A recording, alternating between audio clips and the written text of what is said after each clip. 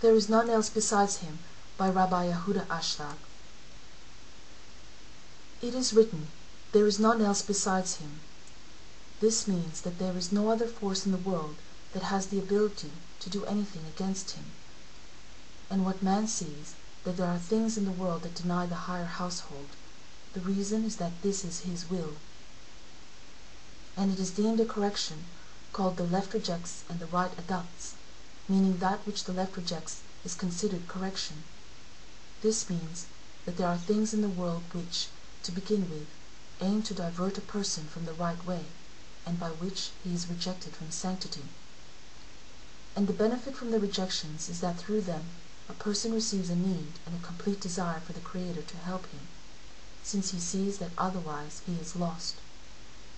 Not only does he not progress in his work, but he sees that he regresses, that is, he lacks the strength to observe Torah and mitzvot even in Lo Lishma, or not for her name. That only by genuinely overcoming all the obstacles above reason can he observe the Torah and mitzvot. But he does not always have the strength to overcome above reason, otherwise he is forced to deviate, God forbid, from the way of the Creator, even from Lo Lishma. And he who always feels that the shadowed is greater than the whole, meaning that there are many more descents than ascents, and he does not see an end to these states, and he will forever remain outside of holiness, for he sees that it is difficult for him to observe even as little as a jot, unless by overcoming above reason. But he is not always able to overcome. And what shall be the end? Then he comes to the decision that no one can help him but the Creator himself. This causes him to make a heartfelt demand that the Creator will open his eyes and heart and truly bring him nearer to eternal adhesion with God. It thus follows that all the rejections he had experienced had come from the Creator. This means that it was not because he was at fault that he did not have the ability to overcome.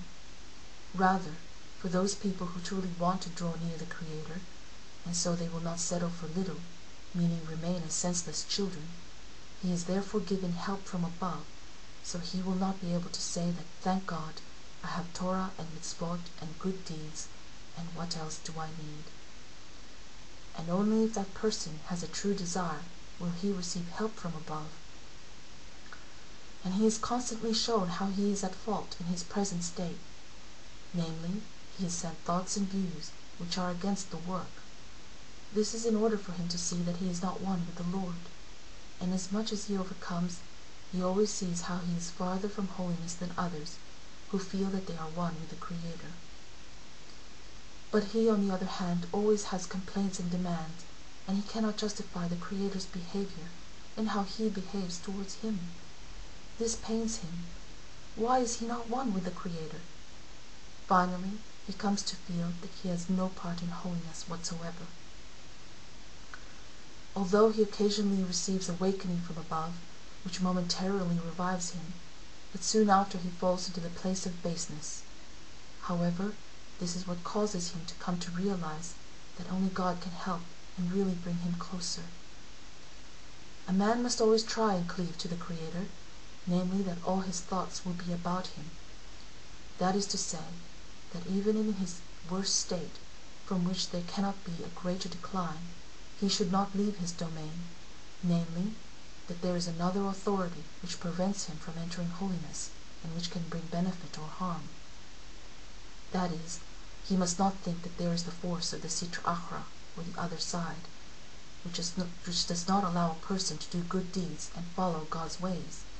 Rather, all is done by the Creator.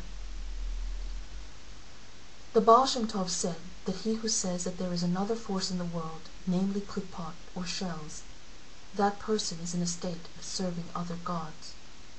It is not necessarily the thought of heresy that is the transgression, but if he thinks that there is another authority and force apart from the Creator, by that he is committing a sin.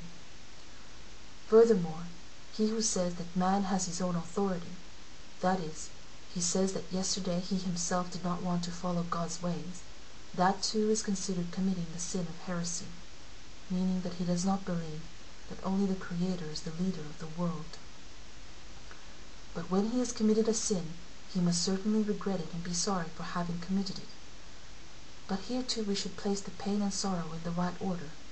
Where does he place the cause of the sin? For that is the point that should be regretted. Then one should be remorseful and say, I committed that sin because the Creator hurled me down from holiness to a place of filth, to the lavatory, the place of filth. That is to say, that the Creator gave him a desire and craving to amuse himself and breathe air in a place of stench. And you might say that it is written in books that sometimes one comes incarnated as a pig.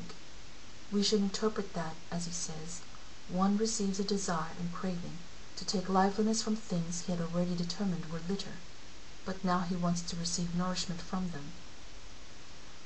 Also, when one feels that now he is in a state of ascent, and feels some good flavor in the work, he must not say, Now I am in a state that I understand that it is worth while to worship the Creator. Rather he should know that now he was favored by the Creator, hence the Creator brought him closer, and for this reason he now feels good flavor in the work. And he should be careful never to leave the domain of sanctity and say that there is another who operates besides the Creator. But this means that the matter of being favored by the Creator, or the opposite, does not depend on the person himself, but only on the Creator, and man with his external mind cannot comprehend why now the Lord has favored him, and afterwards did not. Likewise, when he regrets that the Creator does not draw him near, he should also be careful that it would not be concerning himself, meaning that he is remote from the Creator. This is because thus he becomes a receiver for his own benefit, and one who receives is separated. Rather, he should regret the exile of the Shekhinah, or divinity, meaning that he is causing the sorrow of divinity. One should imagine that it is as though a small organ of the person is sore. The pain is nonetheless felt primarily in the mind and in the heart, the heart and the mind, which are the whole of man.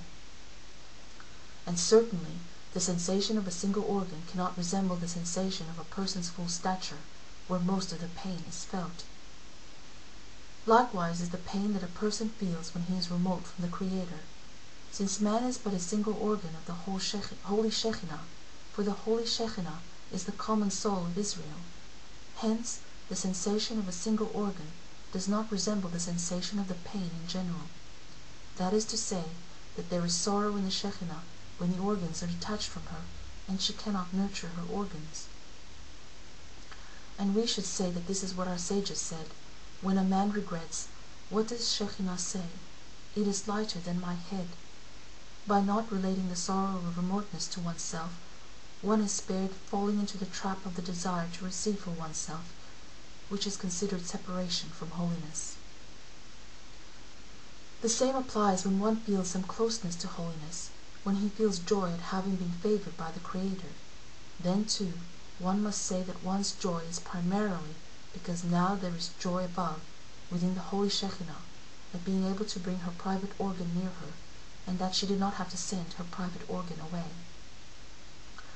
And one derives joy from being awarded with pleasing the Shekhinah. This is in accord with the above calculation, that when there is joy for the part, it is only a part of the joy of the whole. Through these calculations, he loses his individuality, and avoids being trapped by the Sitra Achra, which is the will to receive for his own benefit. Although the will to receive is necessary, since this is the whole of man, since anything that exists in a person apart from the will to receive does not belong to the creature, but is attributed to the Creator, but the will to receive pleasure should be corrected to being in order to bestow. That is to say, the pleasure and joy which the will to receive takes should be with the intention that there is contentment above when the creatures feel pleasure, for this was the purpose of creation, to benefit his creations, and this is called the joy of the Shekhinah above. For this reason, one must seek advice as to how he can bring contentment above, and certainly, if he receives pleasure, contentment shall be felt above. Therefore, he yearns to always be in the king's palace, and to have the ability to play with the king's treasures, and that will certainly cause contentment above it follows that his entire longing should be only for the sake of the Creator.